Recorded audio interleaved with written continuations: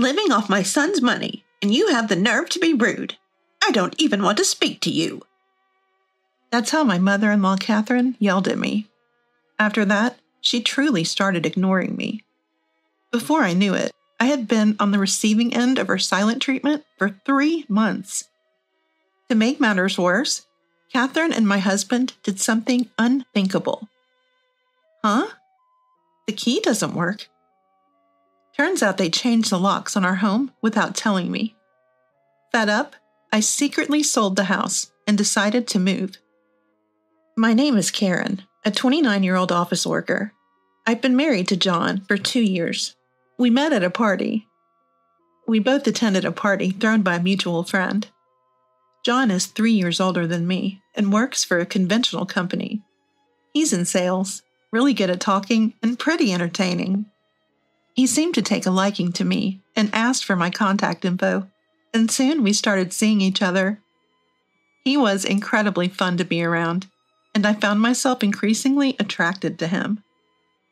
After a while, he confessed his feelings, and we became a couple. We dated smoothly for about a year and a half before he proposed.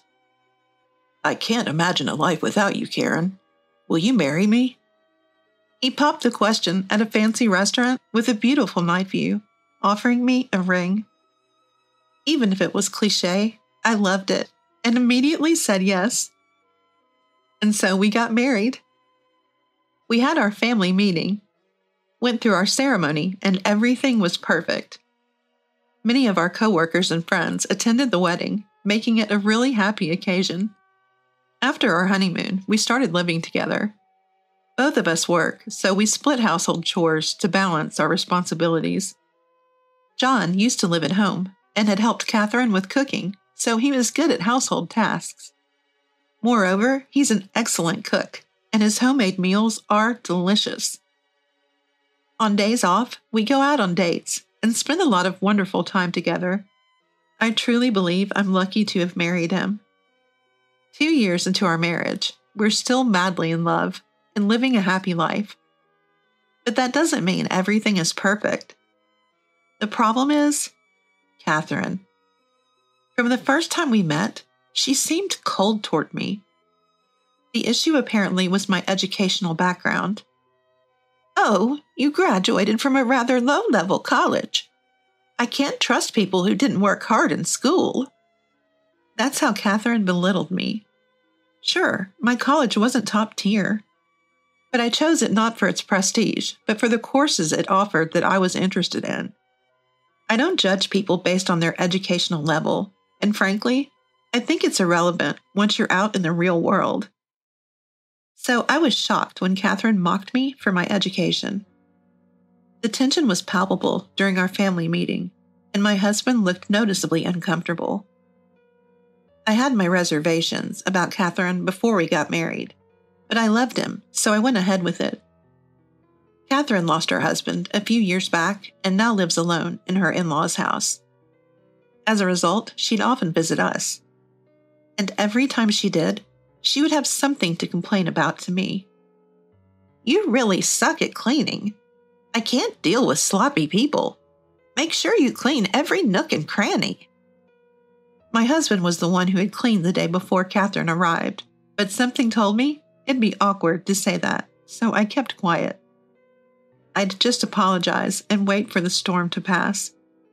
However, Catherine kept coming over and berating me. You're uneducated, can't do household chores, and you don't even have kids. Seriously, you have nothing going on for you. How did you even manage to get with John? Her words were a real blow, especially when I was already feeling down. Finally, I'd had enough and talked to my husband about it. Can't we do something about Catherine's attitude toward me? What do you mean, her attitude?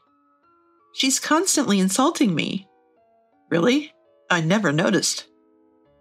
I was taken aback by that. My husband didn't think her comments were derogatory. Learning this shocking fact in our second year of marriage left me stunned. Are you serious? Are you? I don't think mom intends to be mean. I started to wonder if my own perceptions were warped. That Am I not normal? No, it wasn't me. It was my husband and Catherine who were both out of touch. That thought festered, along with my growing distrust for my husband. I had sensed hints of his mommy issues for a while. It had never been a problem until now. His mommy issues started causing me real concern. Mom says you should cook more nutritious meals, so can you add more variety to the menu? We both work, you know. I can't make elaborate meals all the time. A wife's cooking can motivate a husband to work harder and succeed, so please make more dishes. I think you've been skimping. Fine. I reluctantly expanded the menu, which did make dinner prep more labor intensive. But what really got to me was when Catherine found out my husband was also contributing to the housework. How dare you make John do household chores? A wife should never do that. Stop it right now. Catherine yells at me like that. I couldn't just take it anymore. My husband and I both work, so it only makes sense to share the chores. You, my daughter in law, dare to have an opinion about me? Unbelievable. This is why I can't stand people without a proper education. What I'm saying has nothing to do with education. In fact, I think my view is more relevant to modern times. Your perspective, Catherine, is outdated.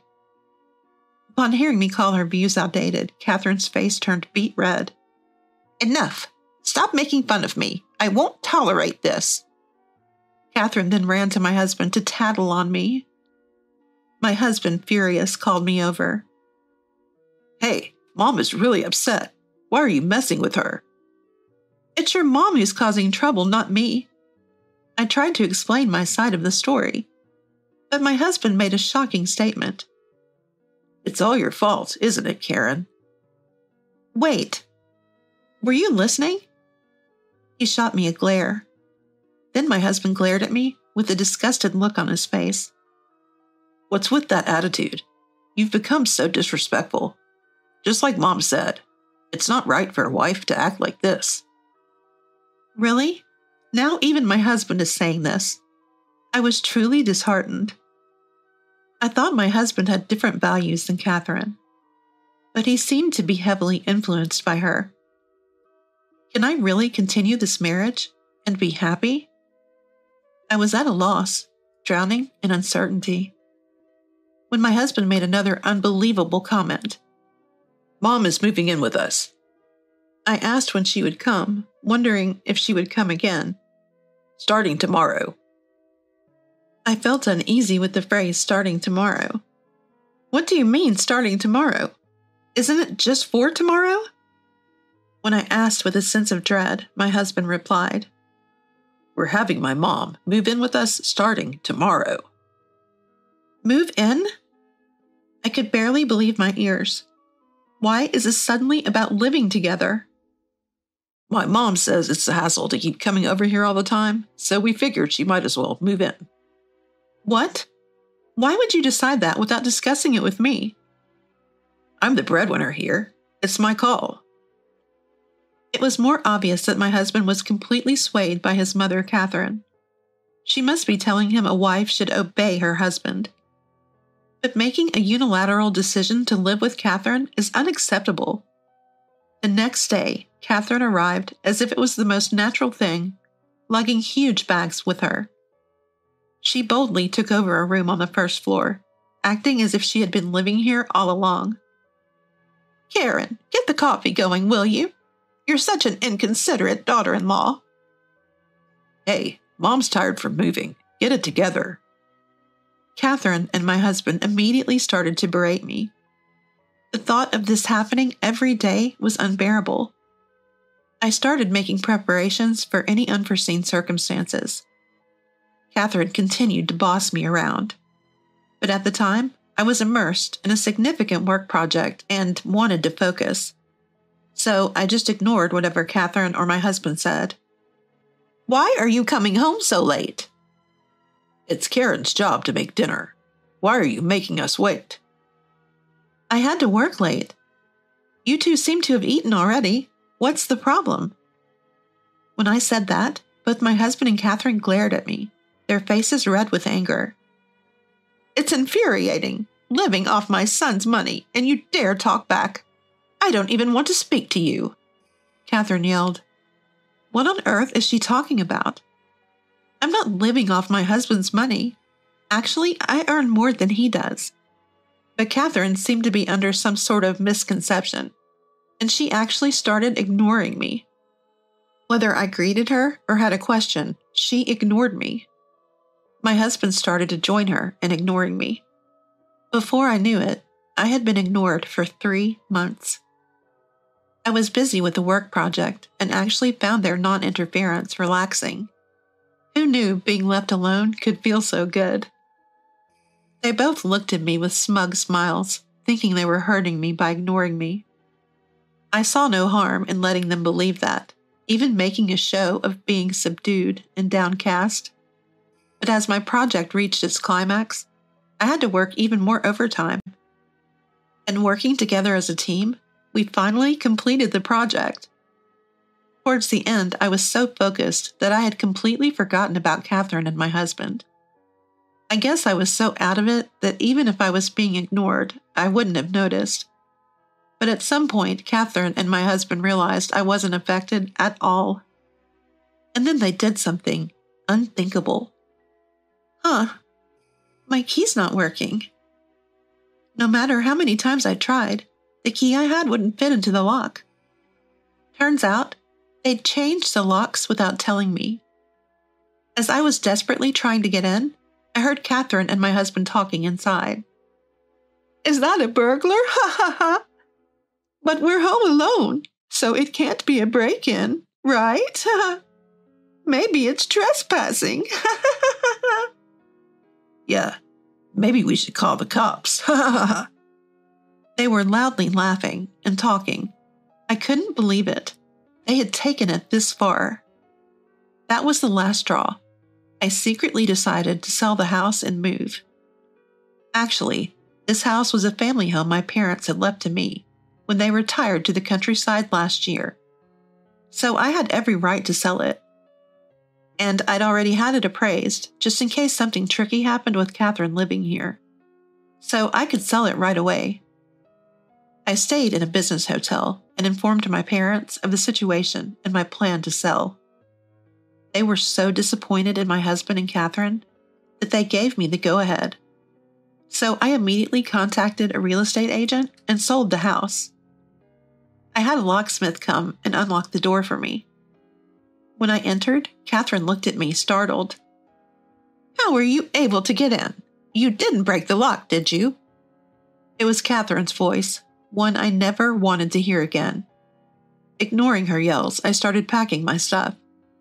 Hey, say something. I'll call the police for trespassing. I continued with my plans to leave without paying her any mind. I had also brought movers with me, so they started taking away my large items. Catherine kept shouting things like, You think you can get away with this, thief? But I kept ignoring her. The locksmiths and movers looked uncomfortable around Catherine. That's because I had told them she was the mother of my dementia stricken husband and had changed the locks, mistaking my home for her own. The more she screamed, the more it looked like her condition was severe. I held back laughter and proceeded with the move efficiently. In no time, all my stuff was gone. I left the already filled out divorce papers on the table and walked out. Catherine was yelling something, but I ignored her and left. Let her taste the bitterness of being completely ignored. My husband called me that night, extremely angry. Hey, what do you think you're doing? Stealing from this house? I decided to engage my husband in a meaningful conversation. What are you talking about? I've only taken what I bought with my own money. And speaking of which, remember the house itself was passed down to me from my parents. You've been so busy impressing Catherine that you've started to believe your own lies. Ah. My husband seemed to finally remember after hearing me out. His phone was on speaker, so I also heard Catherine's voice chime in. Wait, what's going on? Good if Catherine is listening. That makes things easier. Catherine, since you're listening, perfect. I've already sold the house, so please leave immediately. Also, sign the divorce papers. If you don't agree to the divorce, I'll take this to court. Both of them were speechless at my statement. What's the matter? Giving me the silent treatment again? I don't mind, but just so you know, I will kick you out without any hesitation. I knew they weren't really ignoring me. They were just at a loss for words, but I said it anyway. As expected, my husband finally said, Wait, please. But I ignored him and hung up. Shortly after, I initiated divorce proceedings through my lawyer. My husband quickly agreed to the divorce, likely out of fear of a court battle. Subsequently, both my ex husband and Catherine were evicted. Though they could have afforded a decent apartment with the money from the house sale and some pensions, it turns out Catherine had been wasting money and had paid off her debts with my father in law's inheritance. Apparently, she continued her spendthrift ways, making my ex husband think he could afford to buy a house. Now he's struggling, trying to pay off the debt Catherine accrued. Despite the long winded explanation and his plea to get back together, I have completely ignored him. Now I live alone in a comfortable apartment. I plan to save the money from the house sale for my retirement. For now, I'm done with love. I'll focus on my career and work towards getting a promotion.